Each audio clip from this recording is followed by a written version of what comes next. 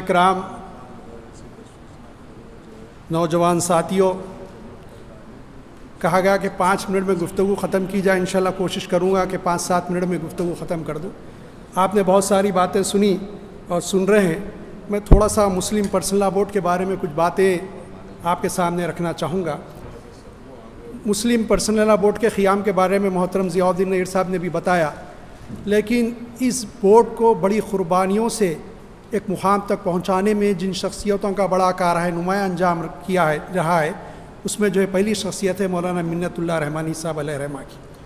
और वो बड़े उलुल अज़म थे और उनकी फ़िक्र और उनकी कोशिशें और काविशें उनकी सही जो थी कि बोर्ड एक हिंदुस्तान में मुसलमानों का नुमाइंदा इदारा बने और उस सिलसिले में उन्होंने बहुत अनथक कोशिशें की और उसमें किसी कदर कामयाब भी रहे, बल्कि बहुत ज़्यादा कामयाबी उनको अल्लाह ने दी।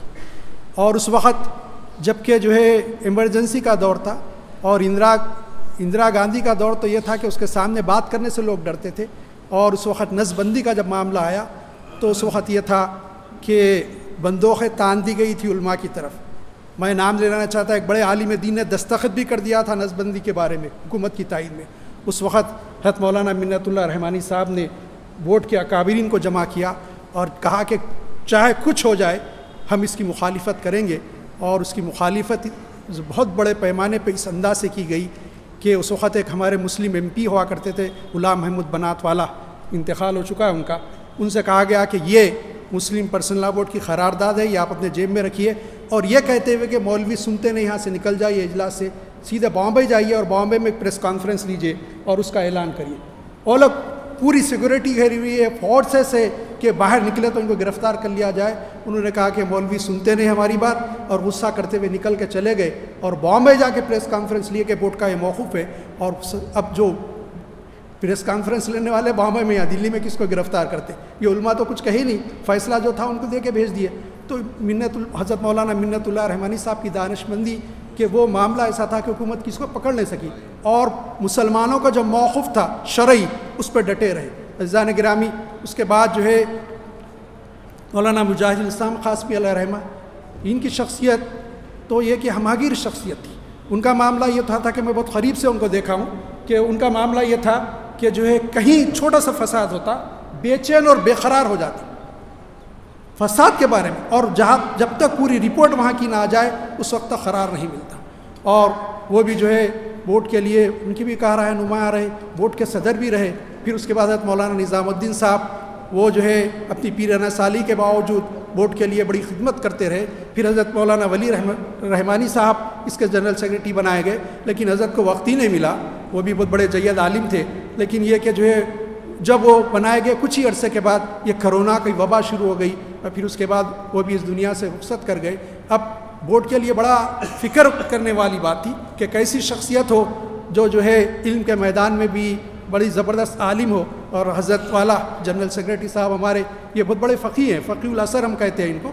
इसके बावजूद इसके साथ साथ ये कि आपने जो है इन अकाबरीन का मैं जो नाम लिया है, इनके साथ आपने बहुत वक्त गुजारा है। और एक शख्सियत है जो हमारे तामीर मिलत के सदर भी रहे, मौलाना अब्दुलरहीम क़ुरैशी साहब। वो जो है बड़ी गहरी इल्मी काबिलियत थी, उनकी बड़ा तफावत रखते थे इल्म दीन में भी और फिर जो क़ानून में भी। उनकी नज़र ऐसी थी कि बड़े बड़े एडुकेट्स मैंने देखा बाद जजस को भी उनकी राय की कदर करते थे। उन्होंने बड़ा काम किया और मौलाना खालिद सैफुल्ला रहमानी साहब उनके साथ बहुत काम किए। इस वक्त जो शख्सियत है जब मौलाना खालिद सैफुल्ला रहमानी साहब की, हम सब दुआ करें कि अल्लाह ताला उनको सेहत और तंदुरुस्त रखे और उम्र दराज अता करे ताकि मिलत की खिदमत कर सके। एजान गिरामी, थोड़ा सा मैं बोर्ड के बारे में आपसे अर्ज़ किया। एक दो चार बातें और अर्ज़ करूँगा कि इस वक्त जो ख़तरा दरपेश है, वो यकीन तफ़ीम शरीयत का काम चलते रहना चाहिए और हज़रत वाला की क़ियादत में ये कारवां रवा दवा है। और इस्लाम माशरा का काम भी हो रहा है, बहुत अच्छे पैमाने पर होना चाहिए। इसको और बढ़ावा देना चाहिए कि इस वक्त इस्लाम माशरा की बहुत ज़रूरत है। हमारा माशरा तो कैफियत यह है कि इकबाल ने कहा था वज़ा में तुम नसारा तो तमद्दन में हनूद।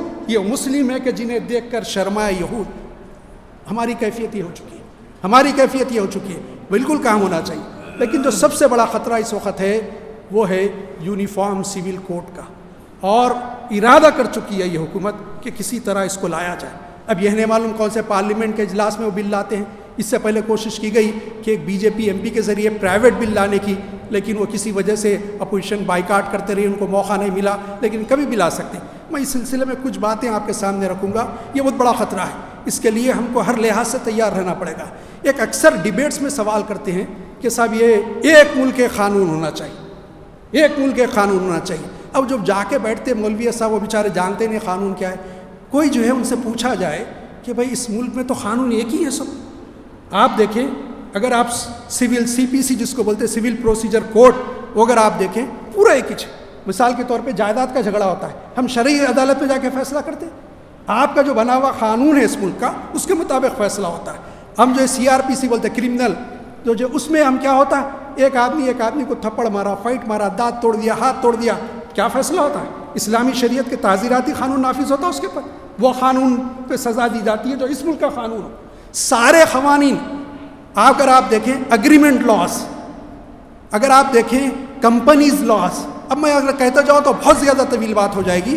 तो कितने कानून बने हुए हैं, पूरे कानून इस मुल्क के हैं। सिर्फ़ एक हम जो जिसको कहते हैं पर्सनल लॉ फैमिली लॉ जिसको कहा जाता है, वो जो है सिर्फ़ पर्सनल लॉ की हद तक। जो है मामला ये है कि वो हर एक का अलायदा है और ये जो है मुग़लों के दौर से। मुग़लों ने कभी किसी के मजहबी ख़वानी में मुदाखलत नहीं की और वह हमेशा अलहदा रहा, अलग रखा गया। तो ये कैफियत उस ज़माने से रही। अंग्रेज़ ने किया। अंग्रेज़ों की तो तूती बोलती थी, लेकिन उन्होंने कभी मुदाखलत नहीं की। लेकिन अब यह मुल्क चाहती है कि सबके लिए क़ानून हो जाए। ये हमारे लिए थोड़ा सा नामुनासिब बात है। अगर हम इसको भी छोड़ दें तो फिर इसके बाद हमारे पास दीनी कुछ नहीं बचता। ये बड़ी अहम बात है। लेकिन इन हालात के बावजूद, क्योंकि मुझे कहा गया कि वक्त हो गया है, मैं जो है इकबाल के कुछ अशार का सहारा लेते हुए गुफ्तु ख़त्म करूँगा। नाउमीदी मैंने कुरान मजीद के सूर आल इमरान की, जिस आयत के, जिसकी तिलावत की, सादत हासिल की, उसमें अल्लाह ताला फरमाता है, न रंजीदा हो, न गमगीन हो, न खौफ खाओ तुम ही सरबुलंद कर दिए जाओगे, तुम के मोमिन हो। इकबाल ने कहा था कि चश्म अखवाम से मख्फी हकीकत तेरी। है अभी महफिल हस्ती को ज़रूरत तेरी। ज़िंदा रखती है ज़माने को हरारत तेरी। कौकब किस्मत इम्कान खिलाफत तेरी। वक्त फ़ुर्सत कहाँ? काम अभी बाकी है, नूर तोहद का इतमाम अभी बाकी है। हम अपनी तालीम के साथ, अपनी कारोबार, तजारतों के साथ मैं जो है मुबारकबाद देता हूँ मौलाना रफ़ीउद्दीन रशादी साहब को और उनके साथी मौलाना मिसबा साहब को और दीगर साथियों को कि ये जो मुसलसल, ये दूसरी उनकी नशिश है जो कोशिशें कर रहे हैं। अल्लाह ताला इसको कबूल फरमाए और यकीन ये कोशिशें समारावर होगी, हम सब मिल के कोशिश करें तो यकीनन वक्त आएगा, शब गुरेज़ा होगी आखिर, जलवे खुर्शीद से ये चमन मामूर होगा, नगम तोहद से। अल्लाह इन अल्लाह ने चाहा तो ये जो इकबाल की आरज़ू थी, वो पूरी होगी। सल्लल्लाहु ताला अला खैरी खल्क़ी मुहम्मदिन वालिही वसाबी अजमैन बिरहमती के